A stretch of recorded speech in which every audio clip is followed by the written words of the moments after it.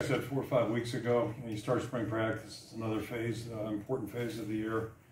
And uh, this is a new season, new team totally, and uh, new staff as well. So, you know, it's, it's a really good period for us to have uh, pretty intensive practice sessions, meeting sessions, uh, a chance to, you know, start to build a foundation of a football team.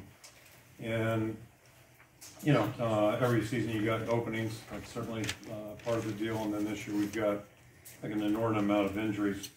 I don't know if that's post-pandemic, uh, you know, hangover or what, but, uh, you know, we've got a lot of guys that have been out. So, yeah, there's a good thing about injuries, at least it creates opportunity for other, other players. And, uh, I think we've got a couple of illustrations of that. And, but the key thing is it's all about growth.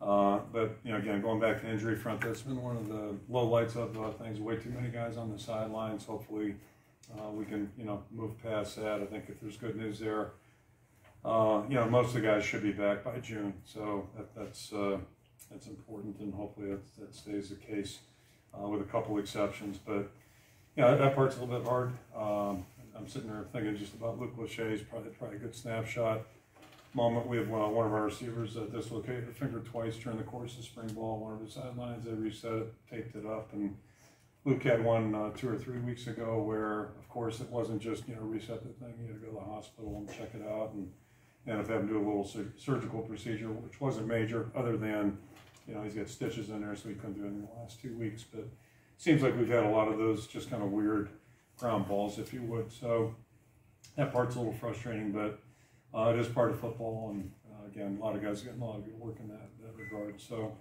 I think overall, just you know, if you look at the whole 15 days uh, total, I think we've made some progress, seen some individual growth.